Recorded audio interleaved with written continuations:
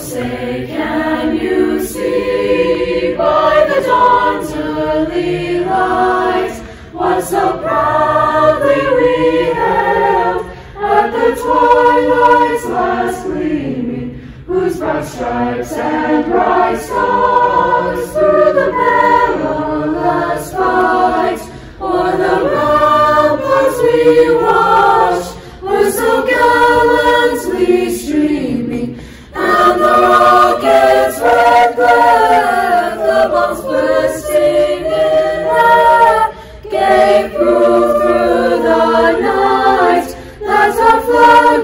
still there. Oh, say does that star-spangled banner yet wave o'er the land of the free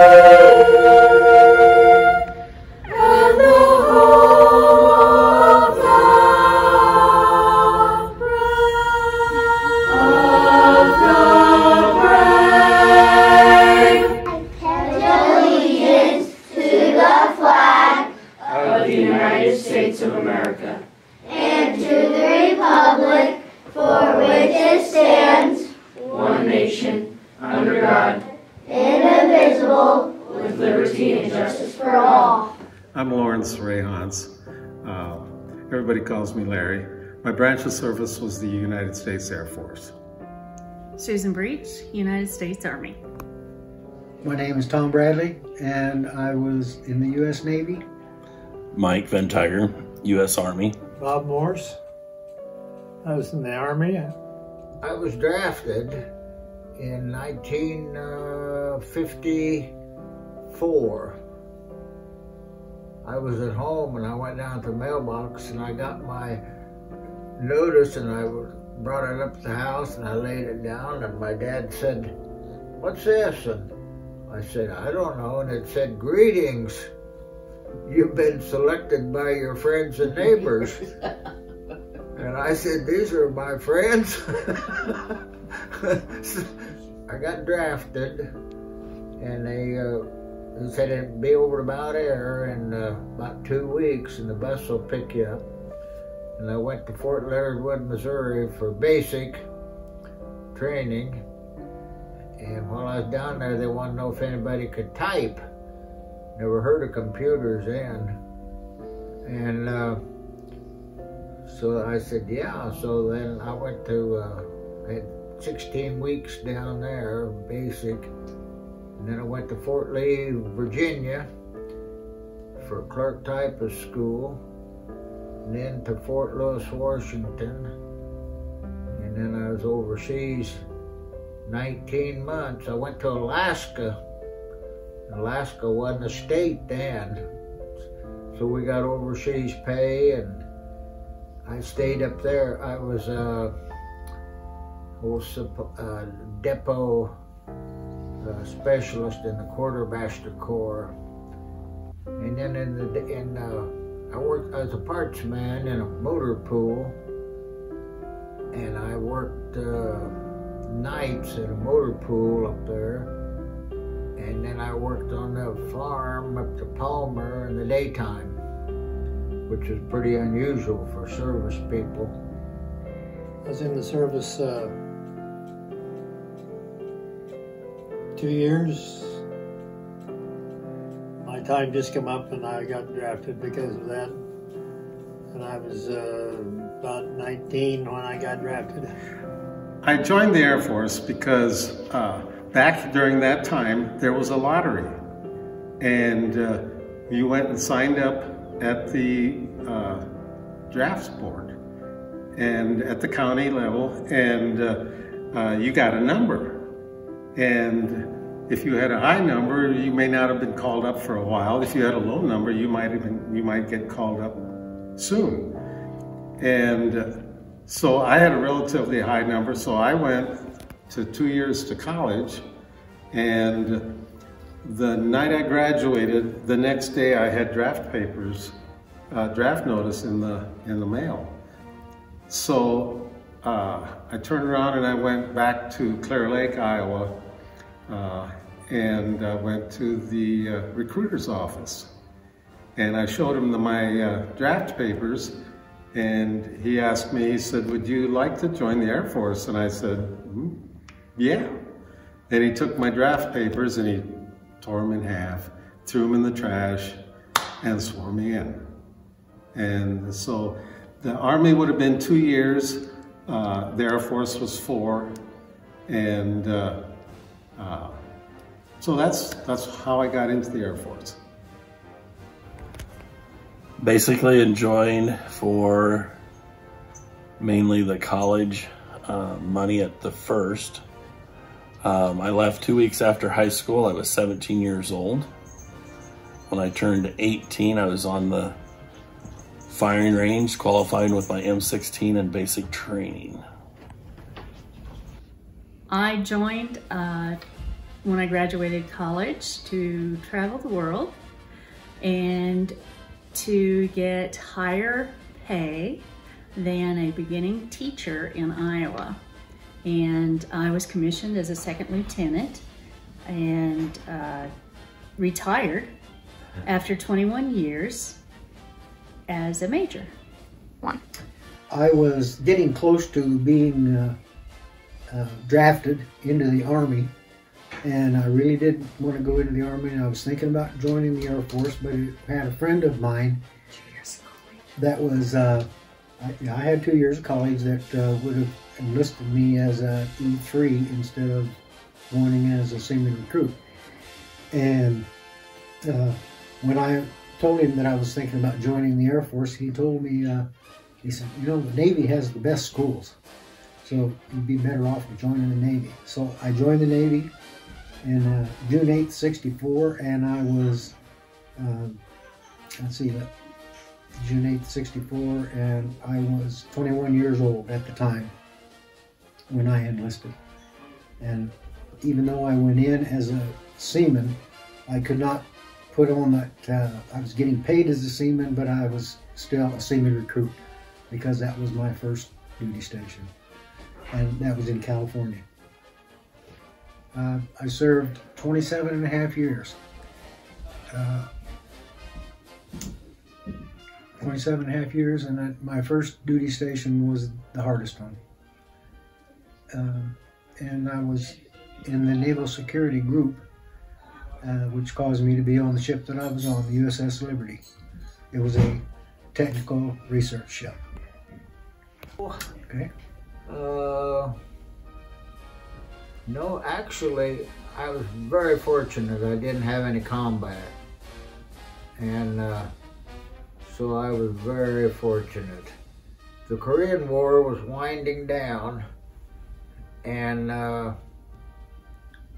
they never did, I don't think they ever did sign a truce for years after that, but uh, the service was real good to me, and I'd do it again in a minute. They wouldn't want me now, but. oh gosh. Had a lot of memories. Uh, I, I got through with basic training and I was shipped to uh, Trieste, Italy. And that kind of turned out to be the garden spot of the country. Had good duty there. You can go. The most memorable moment was the first time I got to go to Mass and celebrate Mass with the uh, and it was the first time really away from my family and uh, away from home. And uh, it was really a, really a, a, a, very blessing time to be able to go to Mass and worship. I would say most memorable moment would be um, working with other units, um, sharing information on uh, training with budgeting and the accounting um, also working um, with all the um, battalions and brigades, a lot of the camaraderie, the discipline, the respect. Um, the honor that the service gets you, I would say that's the most memorable. Probably one of the other um, additional moments was we were we were part of the 10th Mountain Division and up in Fort Drum, New York, and we were out on a field exercise about middle of January, and we uh, were to stay overnight, and I had a first sergeant that uh, we had pup tents. We put up pup tents, and when we woke up the next morning, uh, we had to actually dig out of our pup tent because there was so much snow over it. And then as we were marching back through um, to the um, gathering point where we had our uh, command center, uh, myself and eight other guys got in between a mother bear and a cub. Um, and the mother bear started chasing me and they had to kill her before it got to me. So that was that was another interesting fun moment. Memorable moment. Gosh. I don't have anything to compare to our uh, greatest generation, uh, World War II vets and the World War I vets that are all gone these days, and we're losing our World War II vets rapidly. Um, but I really enjoyed being able to live in different areas of our nation and around the world in Korea as well as different countries in Europe as uh, living there rather than being there as a tourist. So I did enjoy what being active duty afforded me then, being able to do that rather than being a tourist because you get a whole different perspective of doing it when you live there. Several short tours. Uh, I got sent to Long Beach before I went to a school, and then I went to uh, Treasure Island for ETA school because they did not have a CTMA school. I went from there to uh, Mare Island for uh, solid state training uh, because that was the way that the ET school was not doing any solid state training at, at that time. And from there, uh, I got orders to the, the USS Liberty. And on my way to the USS Liberty, uh, Debbie and I got married. And uh, see, June, was it June 8th? No, it wasn't June 8th. February 5th. Yeah, yeah. February, February 5th. Uh, and then uh, I went I went on from there to uh, uh, school in San Angelo, Texas, Texas to go to school for uh, the communications clock that that our security group stations maintain. Uh, but Deb and I got married on the way to there, and then uh, we went from there to Norfolk to uh, report aboard the ship. And Deb left me off at the head of the pier. Uh, I had no idea what was when I would see her again, and uh, we had found a place to live.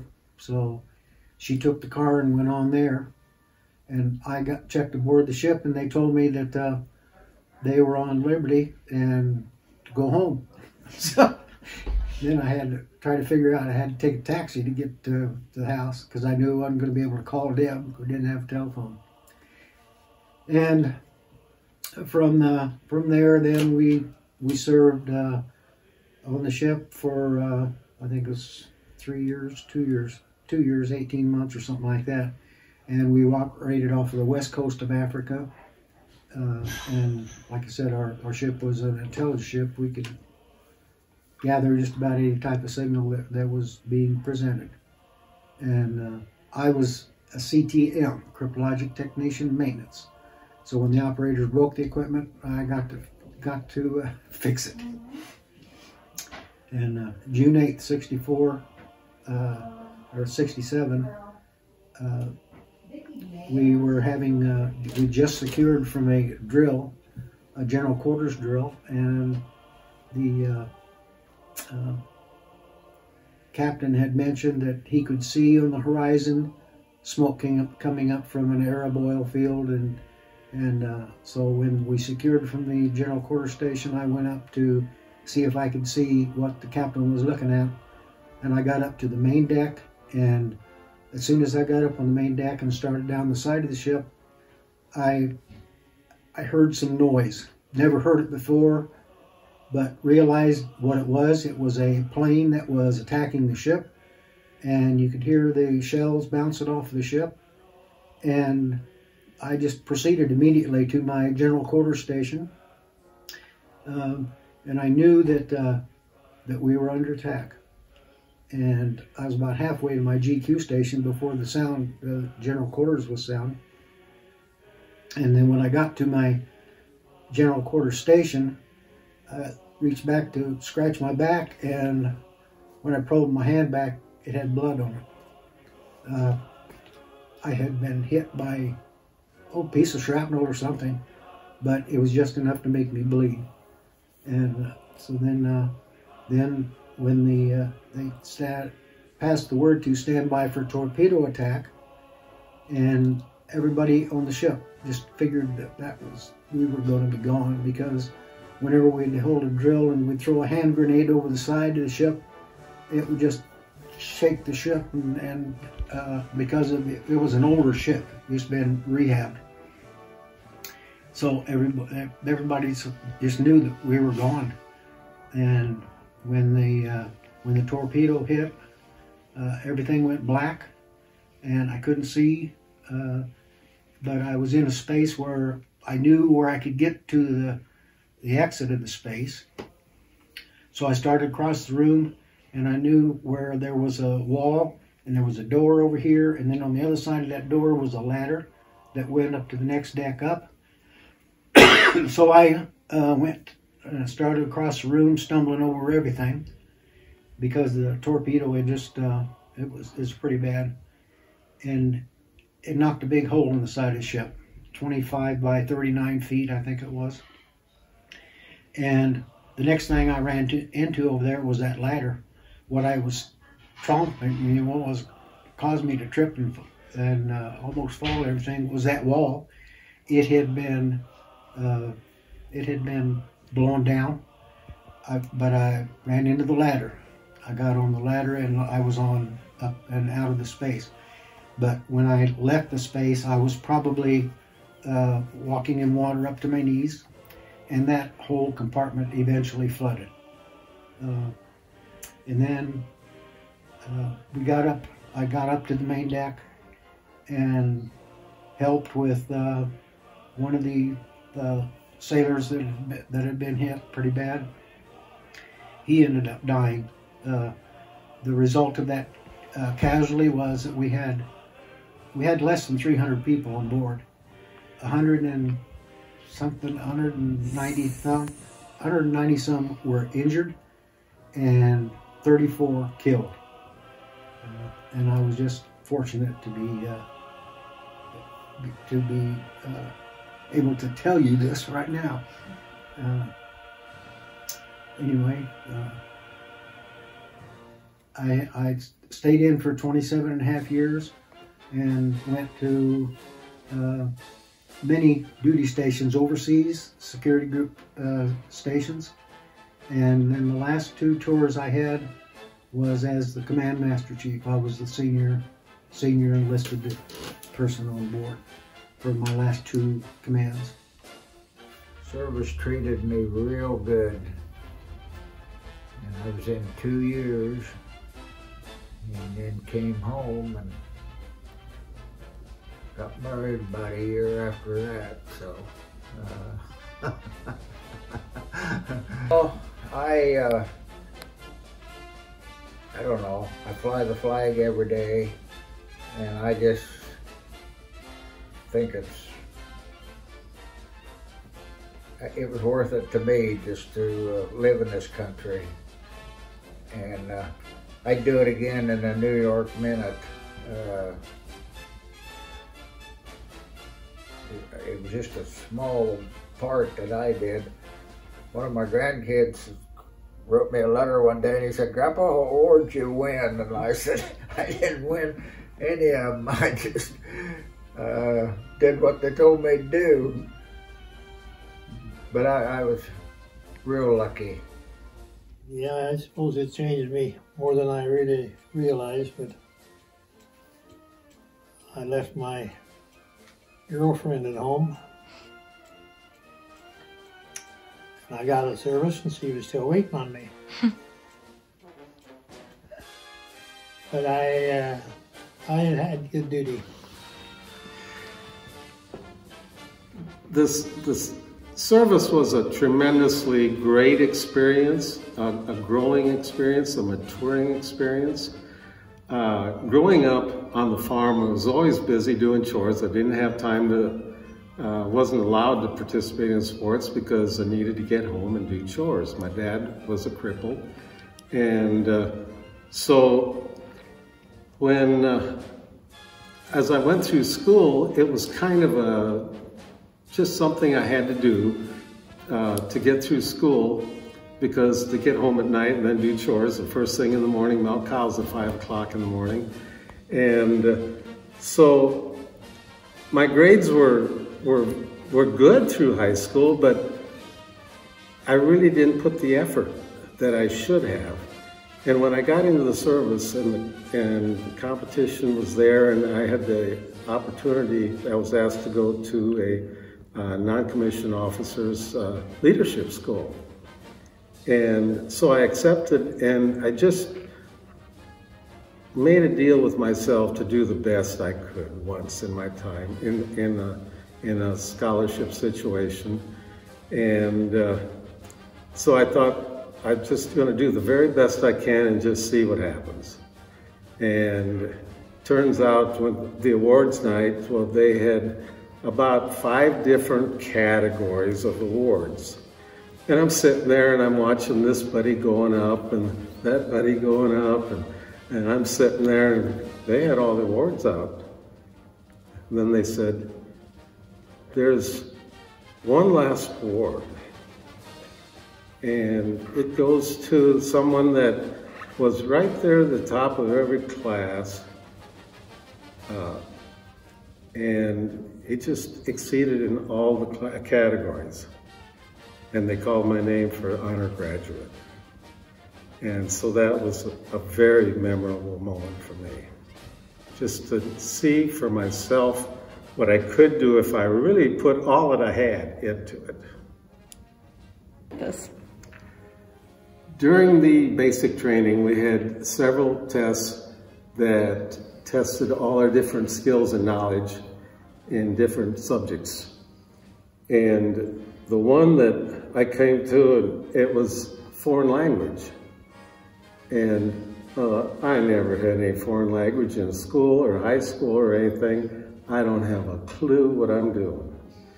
And I went, started down through the test, and I don't remember what type of reasoning I used. But when it was all said and done, I was called in for an interview and they said, we want you to go to language school you scored very high in foreign language. And I was just floored. And uh, so I went along with it and I said, well, what do you, what do you want? We need Chinese linguists. And, but they said, you have your choice if you want Russian or Chinese. As a little tot, I overheard what my parents were saying, and at that time there was a Cold War with Russia, and oh, I didn't want anything to do with Russia. And I thought, Chinese, I don't know anything. You know, there's not a whole lot about the Chinese in, in, in the social world. So I thought, well, I'll take Chinese. Well, then I found out that it's probably the hardest language to learn of any foreign language. And uh, so I went into Chinese linguist training for a year. And uh, lo and behold, uh, I ended up uh, as an Air Force non-commissioned officer, uh, less than 2% of 5% that fly in the service. And uh, I logged over 2,500 hours of flying uh, in the Gulf of Tonkin off Chinese and the Vietnam coast. and uh, I had a top secret security, top secret cryptologic, cryptologic cryptographic uh, communications. It was the highest clearance you could get. It took over a year to get, and there was people running up and down the streets in our town of Garner, and my dad got very uncomfortable why his son was being asked all these questions and why the family was being interviewed so intensively and so much research on the family. And, uh, he was very nervous about that, but it was, it was uh, necessary to get the type of clearance that, that I was going to be exposed to the type of information that I was uh, collecting. And so by the time I finished one year at Chinese school, uh, it took a year for the clearance to, to, uh, to be awarded. Some of the people from my class studied a whole year of Chinese and then didn't get to use it at all. Uh, but uh, the clearance went through and, and the rest is history. I, I learned Chinese and I got to the point where I could, I knew by voice recognition tower controllers in China. And a tremendous experience, just a tremendous experience. Um, I would say the service helped me become a better person. First, it uh, I grew up probably faster than I wanted to, but uh, it helped me realize that uh, um, understanding that people have a lot of um, issues that you don't see, and you can help people um, help other uh, servicemen um, through their their hard times too. It how the army changed me. It made me much more respectful and disciplined. Uh, growing up on a farm, my parents and I was pretty respectful to begin with. Uh, it made me realize how much my father and I had in common and we recently lost him. He passed away. And uh, I would say that it made me even more respectful, disciplined, and appreciative of our way of life, our values, and our freedoms. I think my upbringing had a lot to do with uh, the success that I had in the military. Uh, you know, I was I was used to being told what to do, and so you know when I when I had to follow somebody's rules or somebody told me something to do, uh, I would go ahead and get it done, and uh, it just turned out to be uh, just a very rewarding uh, career. Uh, the family could go with me on all my duty stations after we after that uh, after boot camp and, and, when I was on my way to my first uh, duty as uh, shipboard. And uh, Deb, Deb and the kids got to go with me everywhere we went. We we had uh, uh, places like Morocco and Edzell, Scotland, Adak, Alaska, and Adak, Alaska we did two times and uh, no, Pensacola, Florida, uh, Winter Harbor, Maine, and I think that was. That's a one. I, I said that some. Uh, Winter Harbor, Maine. Kenitra, Morocco. Kenitra, Morocco. That was up. Kenitra, Morocco was where we went the first overseas tour, and uh, my my wife uh, says the one thing she can remember about uh, going to Morocco was she was uh, pregnant when we got there and pregnant when we left. we had, and we had, uh, yeah, we were there for two years. Our our oldest son was born in Morocco. So the services talk about uh, being the spearhead of equality between the genders and the and the races and everything. Uh, part of that uh, is a shortcoming. Uh, they still have work to do to make that a true statement uh, because um, women, we get equal pay as much as the men per rank, per job. That is true. But as long as the females are favored and don't if if they don't have to do the same task exactly as the male has to do for a particular job, then they're not making a true statement that equality is the same 100%. If they water down the task, then then it's not equal. It's not equality. Like an infantryman, if they water down the standard for a woman to be an infantryman, then what a male has to do to be an infantryman, then it's not fair. I have no problem if a woman competes and meets the same exact exact standard that a man has to do, then my hat's off to her and go go get it. But if she can't meet the same exact standard, then then she doesn't cut it. And she shouldn't be allowed to do that that MOS, that task, that specialty skill. This antenna right here was one of my antennas. This antenna clear up here on top was the highest point on the ship and I had to crawl up there and I repaired it and uh, took that one down and had it, got it fixed. And if you look here on this ship, uh, this this antenna right here wasn't there anymore. It, it, it got knocked off and a bunch of the others antennas. I don't think we had, I think all the antennas were uh, not working except uh, somebody was able to wire up a new one, one other antenna, which we got word out to the fleet and, but nobody came. there were planes sent out from the from their ships and the aircraft carriers, and those uh, those planes got called back. So that was right during the Arab-Israeli Six-Day War. And they, they didn't want us involved in it. They didn't. President Johnson yeah. and Secretary McNamara, Secretary of State McNamara, did not want to go to war with Israel because the Vietnam War was going on. An election was coming up. President Johnson dearly wanted to be elected. And um, they just kind of shoved the USS Liberty aside.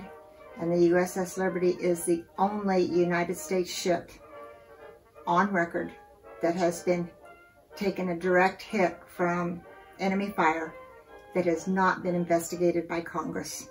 Congress, Congress, will not open it up. They will not touch it. They don't want to hear from anybody about and, it. And we've we've tried numerous times to uh, have people go before Congress to uh, talk about the ship, but uh, you know, nothing, nothing is ever, it was never investigated. And all of these years, we've never held Tom and I and the majority of the crew. Never, we, we, we never held the, the, people of Israel responsible. It was the military of Israel that um, got it all wrong. so, uh, okay that's where we're at to this day. It's been like this for a lot of years, 50 plus years.